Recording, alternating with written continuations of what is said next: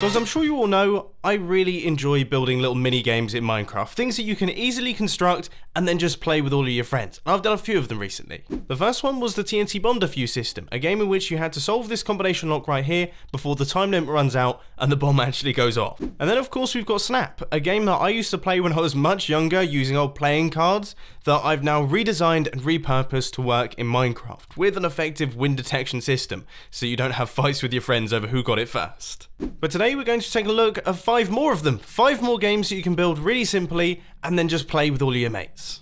Except if you're anything like me and you don't have any mates, you're going to have to have a game that you can play on your own, and this one does the trick. This is a rock, paper, scissors game where you're playing against the computer. These are your levers, and this is the computer's options.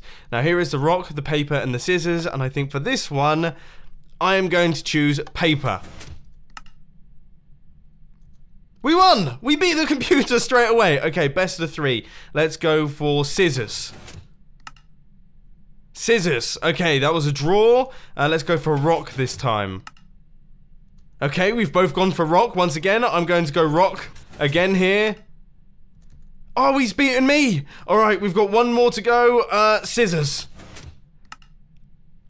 No! We got beaten by the system! Oh, Skynet is coming, I can feel it.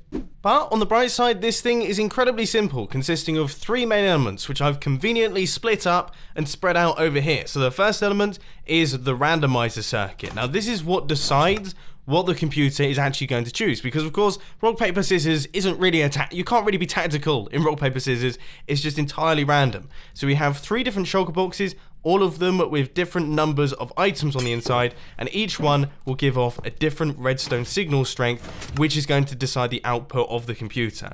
Now we just run the inputs from the levers into the top of this thing, using some droppers, hoppers, monostables and things, and then here is the little decider circuit, which is the red coder. This is essentially outputting in visual form what the randomizer is doing.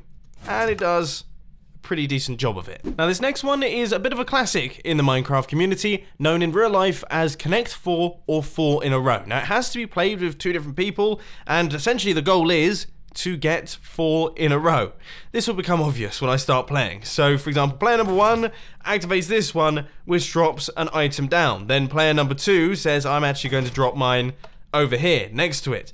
Then player number one says that he's going to place one over here, and player number two says that they're going to place one over here. I have to say, uh, yeah, this game makes a lot more sense when you're playing with someone else. it's not exactly interesting when it's just me. But in this hypothetical game scenario, Red is the winner here because he has managed to get four of his item in a line like this. Blue was trying to he was trying to get this one right here, but he didn't notice that Red was actually working on this one, and Red has ended up being the winner. So to reset the game, all we have to do is hit this button, and that will drop out all of the items. They will all fall down, and then they will end up on these hoppers down here, and end up in this chest, ready to be replaced back up at the top. Redstone wise, we've got some pretty interesting things happening, none of them particularly complicated. We have a little monostable circuit, which allows our piston to retract, then re-extend really quickly, which allows our blocks to actually drop down and be pushed across one at a time, and they will eventually stack up here. And then the way that we've done the reset circuit is we have a flush piston door here with just regular pistons facing upwards and then they get retracted back like this. We've got a pulse extender and then we have all of the hoppers and the torches on top, which allow us to actually pick up the items. Seriously, this is one of the simplest redstone contraptions that I've done for a very long time. This one, on the other hand, is not, but it makes up for it in being incredibly good fun. This is the Minecart Dodger minigame, and as you can see, we've got four tracks of minecart rails, and we have four dispensers out the back. I'm sure all of you can guess what happens. If we hit this button, that will boot the system into action, and straight away, we lost instantly. that was not a good start. Okay, now I kind of have my head in the game. Right, okay, dodge that way, dodge that way. Right, try and stay in this gap. it's always difficult, especially when you get like three of them come through. One minecart's fine, two minecarts, that's definitely doable. Three, you're really threading the needle. Oh, it's it's pretty high stress though. Phew, a little bit of a break. One minecart, we can deal with that. Three again! and again! And again! Oh. And that wasn't so hot by me there. But once you do die, you get blasted by a few potions and things, and then eventually the system actually switches off. So you can clear up all of the minecarts that are left over, and you can pick up all of this deadly, deadly stuff that's just floating around in the air, and then you can reboot the game by hitting that button. Redstone-wise, I'm going to do a quick whistle-stop tour. So when you hit this button over here, that will activate this RS NOR latch, which activates this hopper clock, which runs its output into these hopper-dropper randomizer circuits.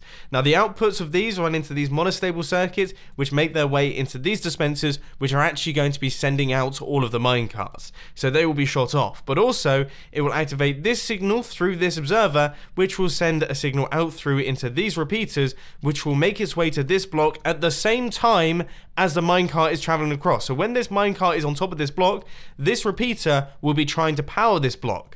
But the good news is, is that if the minecart has actually made it there and it hasn't hit the player, this piston will be extended, which means that the repeater signal won't go through the block and won't hit this redstone line and won't activate this dispenser.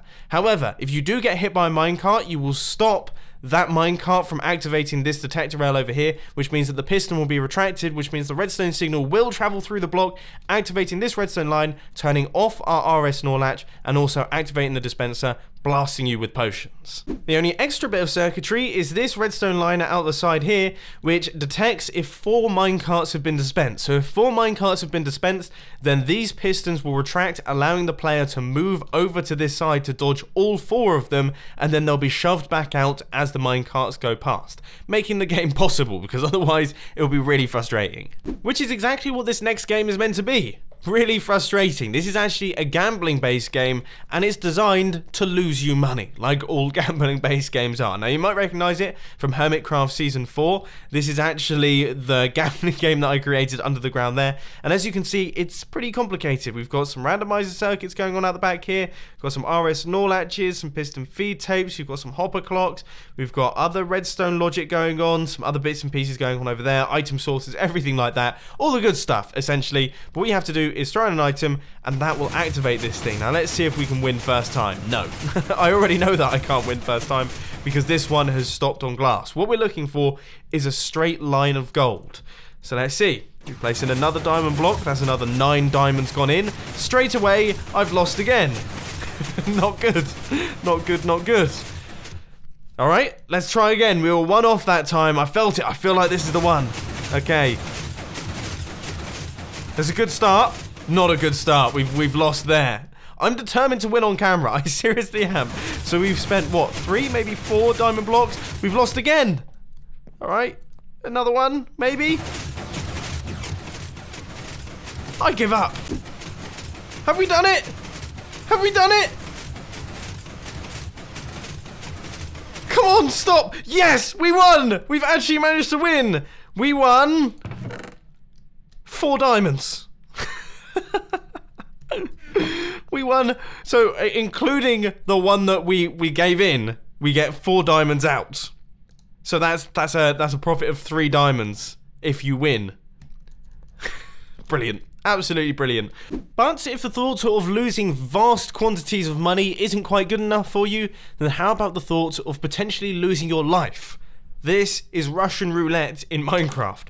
Stand aside here, hit the button, and you can get, well, look, we've got ourselves a block of emerald. That's pretty cool. Door will open up, and we can leave. All good. Right, let's pop back inside. Uh, let's see. We got ourselves another block of emerald. I mean, this is easy. There's a 1 in 6 chance of dying, though. Now, I do just want to make you aware that there are other items available other than blocks of emerald. For example, there we got a block of redstone. That's cool. Right, let's pop out and go inside here. Oh, that time we got ourselves a diamond block. That's not bad. We've done well there. In fact, there's five different good items that you can get. But one of the items, well, that's a block of TNT. And that will be dispensed and it will be sent down into the water. And you're definitely going to know about that. I'm going to be honest, guys, though. I, we seem to be getting pretty lucky today. I think I might go out and buy a lottery ticket. that was bound to happen at some point. Now, the reason that I chose a 1 in 6 chance of getting hit by the TNT is because traditionally, if you were to play Russian roulette in real life, which is stupid, don't do it, then you would have a revolver which generally has six chambers, and you would load up one of the chambers with the bullet, and of course, do the spin and do the pull and everything like that. We all know how that one works. Now, redstone wise, this is probably one of the simplest ones of today's video. All we have is the dispenser, one TNT, and then the five other items there, and then we have just a simple delay circuit which runs into our iron door, which will open up after we've been dealt our punishment or our reward. So there we go. Those are all the games that I've got for you. If you do want to build them for yourselves, then there'll be world downloads down in the description. Just download them, chuck them into your world saves folder. If you don't know where your world saves folder is, then look it up on Google. There's plenty of resources that will allow you to find it. But anyway, ladies and gentlemen, I hope you enjoyed this video. If you did, please sure to that like button. And if you really loved it, then make sure to subscribe. But thanks for watching, guys. This has been Mumbo, and I'm out. I'll see you later.